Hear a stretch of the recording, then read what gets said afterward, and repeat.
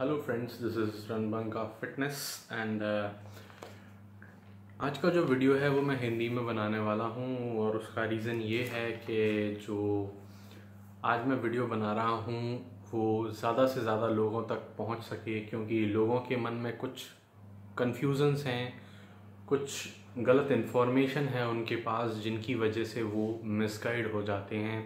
तो इसलिए मैं इसको हिंदी में बना रहा हूँ और आगे से भी मैं कोशिश करूँगा कि कुछ वीडियोस को जो है मैं हिंदी में ही बनाऊँ। और अगर आप चाहते हैं कि मैं केवल हिंदी में बनाऊँ तो प्लीज़ इस वीडियो के नीचे आप जो है कमेंट करिएगा। ओके तो आज का जो वीडियो है, वो है प्रोटीन से रिलेटेड जो क्वेश्चंस हैं मोस्टली जो लोग पूछते हैं, जो उनके अंदर कन्फ्यूज़न है, उसको क्लियर करने के लिए मैंने आज केवल प्रोटीन से रिलेटेड जो कन्फ्यूज़न्स हैं, प्रोटीन से रिलेटेड जो क्वेश्चंस हैं मैंने आज उनको लिया है तो उनको आज जो है मैं उनके आंसर्स दूँगा। अगर उसके अलावा आपके पास और कोई क्वेश्चन है तो इसी वीडियो में जो है आप कमेंट सेक्शन में आप क्वेश्चन पूछ सकते हैं। तो चलिए, शुरू करते हैं। सबसे पहला क्वेश्चन है, प्रोटीन क्या है और ये कैसे बनता है? ओके। तो प्रोटीन जो है, वो हमारा जो आप कोई भी चीज़ ले लें, हमारा जो खाना है, उसको दो भागों में बांट सकते हैं मैक्रोन्यूट्रिएंट्स और माइक्रोन्यूट्रिएंट्स माइक्रोन्यूट्रिएंट्स होते हैं आपके विटामिन्स आपका जो मिनरल्स हैं विटामिन और जो मिनरल्स हैं, वो माइक्रो माइक्रोन्यूट्रिएंट्स में आते हैं, और जो मैक्रोन्यूट्रिएंट्स हैं, वो होते हैं तीन चीज़ें फैट कार्बोहाइड्रेट और प्रोटीन तो ये तीन चीज़ों से ही जो है हमारा खाना बनता है, जो मैक्रो न्यूट्रिएंट हम जिनको बोलते हैं। तो हम लोग जो भी खाना खाते हैं, वो तीन मैक्रोन्यूट्रिएंट्स में डिवाइड होता है फैट कार्बोहाइड्रेट और प्रोटीन तो प्रोटीन हमारा जो है, वो बहुत ही इंपॉर्टेंट मैक्रोन्यूट्रिएंट है और ये हर खाना, जो भी हम चीज़ खाते हैं, चाहे वो दूध हो, चाहे रोटी हो, चाहे सब्ज़ी हो मोस्टली चीज़ों में ये पाया जाता है। प्रोटीन जो है हमें मिलता है। ज़्यादातर सोर्सेज जो हैं और इसके जो सबसे अच्छे सोर्सेज हैं प्रोटीन के, वो हैं मीट मिल्क सोयाबीन आपकी जो दाल जितनी आती हैं और सोयाबीन भी है इसमें। तो काफ़ी सारी चीज़ें हैं जो हमें प्रोटीन देती हैं। अब हम बात करते हैं कि जो प्रोटीन है, वो कैसे बनता है? हम लोग जो प्रोटीन हमारे पास आता है, जो बॉक्स में पैक हो करके वो कहाँ से आता है? तो वो प्रोटीन जो है, वो बनता है बाहर जहाँ बड़ी बड़ी कंपनियाँ हैं, जैसे कि डेविस्को है, सपूतो है। तो ये कंपनियाँ क्या करती हैं? ये कंपनियाँ इनके बहुत बड़े बड़े जो है, कंपनीज़ हैं, बहुत बड़े फार्म्स हैं जहाँ पर बहुत सारी गायें ये लोग रखते हैं। हज़ारों, लाखों की संख्या में गायें रहती हैं। उनका जो दूध है उसको वो प्रोसेस करते हैं, उससे वो चीज़ बनाते हैं। तो चीज़ जब भी आप देखेंगे, जो दही हमारा होता है, उसके ऊपर एक सफ़ेद पानी जो होता है, वो बचता है। या अगर आप कभी पनीर बनाएँगे घर पर तो पनीर एक जगह इकट्ठा हो जाता है और जो बचता है सफ़ेद जो दूध का जो बचा हुआ वो पानी जो है, उसमें से उस सफ़ेद पार्ट को वो लोग सॉस सुखा करके ड्राई करके प्योर फॉर्म में ले आते हैं और वही हमारा उससे ही प्रोटीन बनता है। उसके बाद जो कंपनियाँ हैं, वो उसमें एंजाइम्स मिलाती हैं बी सी डबल ए या जो भी चीज़ें वो मिलाना चाहें, वो बनाती हैं, मिलाती हैं और उसके बाद वो हमें बेचती हैं। तो इस तरीके से जो हमारा वे है, वो बनता है। तो प्रोटीन जो है वो बहुत ही एकदम नेचुरल प्रोसेस से बनता है। इसमें कुछ भी जो है आर्टिफिशियल या वो चीज़ वो जो है कोई ऐसा वो हार्मफुल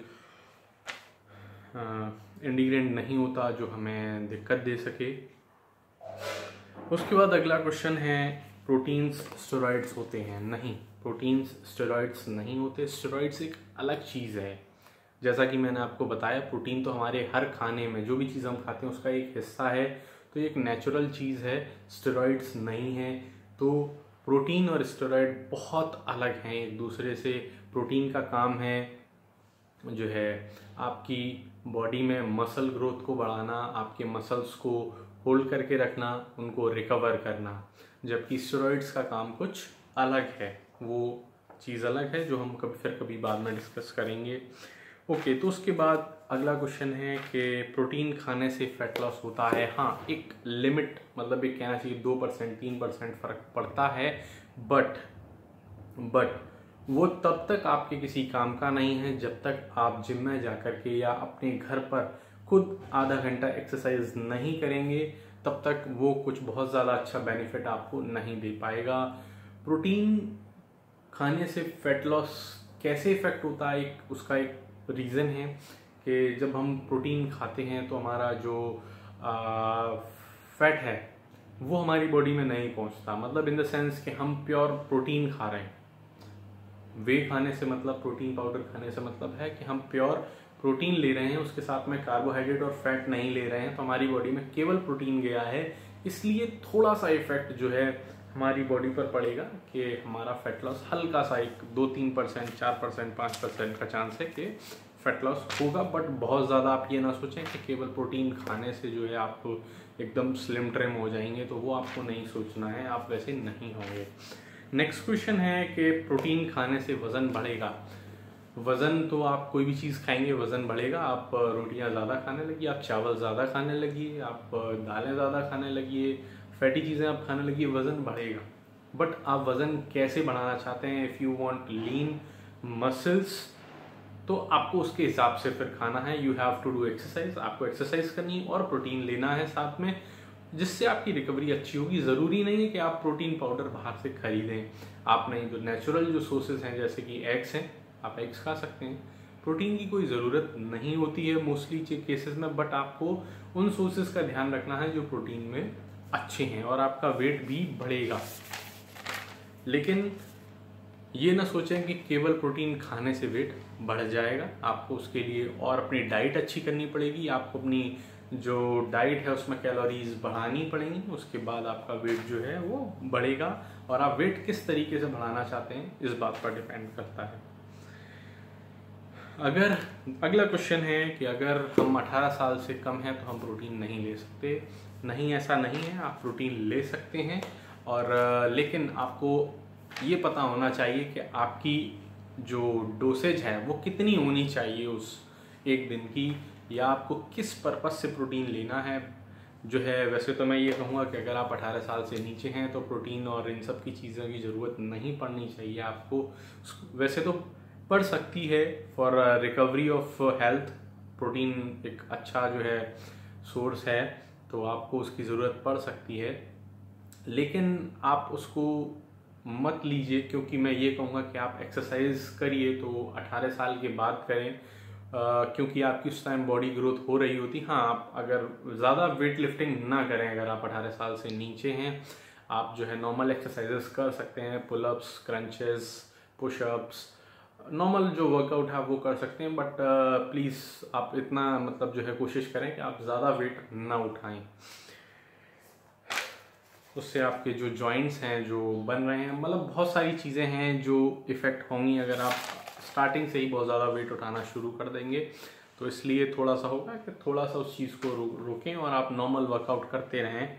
और 18-20 साल के बाद आप जो है अपना पूरा वर्कआउट स्टार्ट कर दें। वैसे काफ़ी लोग हैं जिन्होंने किया है। मैं ये नहीं कहता कि लोग ऐसा नहीं कर सकते कर सकते हैं बट मैं मेरा जो सजेशन है कि आप उसको थोड़ा सा अवॉइड करिएगा। नेक्स्ट क्वेश्चन है, कौन सा प्रोटीन ब्रांड बेस्ट है? सारे ही। तो इसका जवाब ये है कि सारे। सारे के सारे जो प्रोटीन ब्रांड्स हैं, वो अच्छे हैं। बशर्ते जो प्रोटीन प्रोडक्ट आपके पास है, जो प्रोटीन सप्लीमेंट आपके पास है, वो जेनविन है या नहीं है, इस बात पर डिपेंड करता है कि वो बेस्ट है या नहीं। अगर आपके पास 100 परसेंट है तो वो प्रोटीन बेस्ट है। क्योंकि प्रोटीन की जो बात करते हैं जो मोस्टली इंडिया में आज की डेट में अगर आप प्रोटीन लेने जाएँगे तो 80 परसेंट चांस है कि वो फर्जी फेक होगा। तो इसलिए आपको जो है, इस चीज़ का बहुत ज़्यादा ध्यान रखना है। ब्रांड सारे अच्छे हैं बट अगर आप मेरी ओपिनियन लेना चाहेंगे चीप एंड बेस्ट में तो माई प्रोटीन इस टाइम सबसे बेस्ट है। और अगर इंडियन प्रोडक्ट की बात करते हैं जेनुनिटी के हिसाब से तो आप मसल ग्लीस के साथ जा सकते हैं। प्रोटीन कहाँ से खरीदें? प्रोटीन आप वैसे तो अगर आपका कोई पहले से कोई जानकार डीलर है तो आप वहाँ से ख़रीद सकते हैं। नहीं तो बॉडी बिल्डिंग डॉट कॉम अगर आप इम्पोर्ट कर सकते हैं तो बॉडी बिल्डिंग डॉट कॉम एक इंटरनेशनल साइट है। वहाँ से आप इम्पोर्ट करवा सकते हैं। इंडिया आएगा आपका, जो भी सप्लीमेंट्स हैं, जो भी प्रोडक्ट्स हैं सारे, और वो जेनविन होंगे हंड्रेड परसेंट दूसरा है, अगर आप इंडियन ब्रांड के साथ जाना चाहते हैं तो मसल ब्लेज एक इंडियन ब्रांड है, जो मैं रिलायबल मानता हूँ। उसके बाद तीसरा है, और जो सबसे बेस्ट है माई प्रोटीन जो यूके बेस्ड कंपनी है, वहाँ से आप अपना प्रोडक्ट जो है सप्लीमेंट्स जो हैं वो ऑर्डर कर सकते हैं। काफ़ी चीप हैं फॉर फाइव के जी आपको जो है लगभग साढ़े चार हज़ार रुपये देने पड़ेंगे, और काफ़ी अच्छा है। लेकिन जब वो आएगा तो आपको उसके लिए कस्टम ड्यूटी भी देनी होगी। तो उन सारी चीज़ों को समझने के बाद आप ऑर्डर करिएगा, उसकी साइट है My Protein dot co dot in तो आप उससे जो है ऑर्डर कर सकते हैं, उन्होंने ये साइट इंडिया के लिए ही खोली है, लेकिन अभी तक उन्होंने अपना डिस्ट्रीब्यूटरशिप इंडिया में सेटल नहीं किया है। तो अभी जो प्रोडक्ट्स आते हैं, वो सीधा यूके से आते हैं, और इसका मतलब ये है कि वो हंड्रेड परसेंट जेन्यन प्रोडक्ट होगा, और वो आपको काफ़ी बेनिफिट देगा।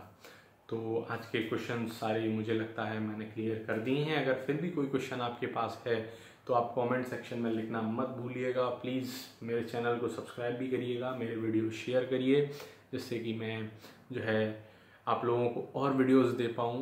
उम्मीद करता हूँ आपको पसंद आया होगा ये video thank you guys be safe out there thank you bye